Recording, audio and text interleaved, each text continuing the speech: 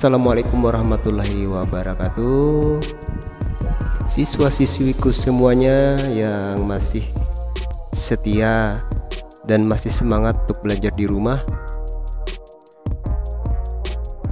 Pada pertemuan kali ini kita akan melanjutkan materi pelajaran kita pada bab selanjutnya Di mana pada bab sebelumnya kita sudah menyelesaikan materi teori dan praktek dalam membuat sebuah laporan hasil percobaan baik itu videonya maupun teksnya. Dan saya mengucapkan sangat terima kasih kepada sebagian besar sudah bisa menyokseskan pelajaran kita karena 30 dari dari 30 orang siswa separuhnya 50 persennya sangat berprestasi dalam menulis sebuah laporan hasil percobaan harapan saya pada bab selanjutnya ini kalian akan lebih banyak lagi yang sukses berprestasi dalam melakukan praktek dalam pembelajaran kita. Di mana pada bab kedua ini tentang mengungkap gagasan persuasif melalui pidato. Teorinya akan kita bahas dan prakteknya nanti kalian juga secara berkelompok untuk menyampaikan pidato persuasifnya melalui perwakilan-perwakilan di kelompoknya masing-masing. Jadi kita tidak usah per orang, kita berkelompok. Jadi kalian pilih siapa nantinya yang mewakili kelompoknya untuk menyampaikan pidato persuasifnya setelah teori selesai kita sampaikan. Oke siswa-siswiku semuanya yang masih semangat belajar di rumah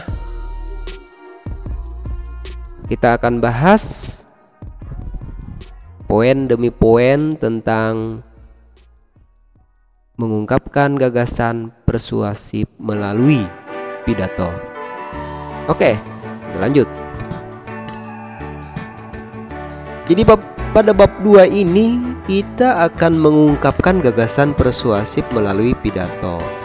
Ada lima hal pokok yang akan kita bahas yaitu memahami apa itu pidato persuasif, yang kedua, informasi dalam pidato persuasif. Yang ketiga, simpulan isi pidato persuasif. Yang keempat, struktur dan kebahasaan pidato persuasif. Dan yang terakhir adalah penyusunan pidato persuasif yang nantinya akan kalian praktekkan secara berkelompok. Oke, kita lanjut siswa-siswi yang cantik-cantik dan ganteng-ganteng semuanya yang masih semangat belajar di rumah. Nanti materi ini kalian catat dan kalian tuliskan di daftar hadir sebagai bukti bahwa kalian menyimak apa yang saya sampaikan ini. Kita lanjut. Kita pahami apa itu pidato persuasif. Ya. Jadi ada pengertiannya, jenisnya, metode dan dari tiga hal itu akan membentuk satu pidato yang disebut dengan pidato persuasif. Jadi ada jenis pidato persuasif, ada metode persuasifnya, ada pengertiannya. Oke, kita bahas lanjut. Sekarang kita bahas apa itu pidato persuasif. Nah, ya. Kalian sudah tahu persuasif itu apa? Sekarang kita bahas pidatonya. Nah, pidato yang bertujuan meyakinkan pembaca atau pendengar dengan menyajikan argumen dari sudut pandang si pembicara. Ya, nah jadi tujuannya adalah meyakinkan dan mempengaruhi si pendengar sesuai dengan apa yang ingin disampaikan oleh si pembicara. Artinya apa yang disampaikan oleh si pembicara itu nanti dapat mempengaruhi si pendengar supaya bisa mengikuti apa yang dia sampaikan dan dia pikirkan. Oke ya. Nah, itulah untuk pertemuan pertama kali ini kalian sudah membahas apa pengertian naskah pidato persuasif. Nah, pada pertemuan berikutnya akan kita bahas ya, akan kita bahas tentang jenis-jenis pidato persuasif. Oke, sampai di sini dulu.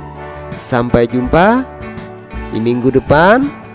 Dan pada kali ini kalian harus memahami apa itu pidato persuasif dan tuliskan di bukti kehadiran kalian. Oke, demikian yang dapat saya sampaikan pada kali ini. Terima kasih atas perhatiannya pada pertemuan yang pertama kali ini di bab 2 ini. Nanti kita lanjutkan pada pertemuan yang kedua minggu depan. Sampai jumpa. Ya, Assalamualaikum warahmatullahi wabarakatuh.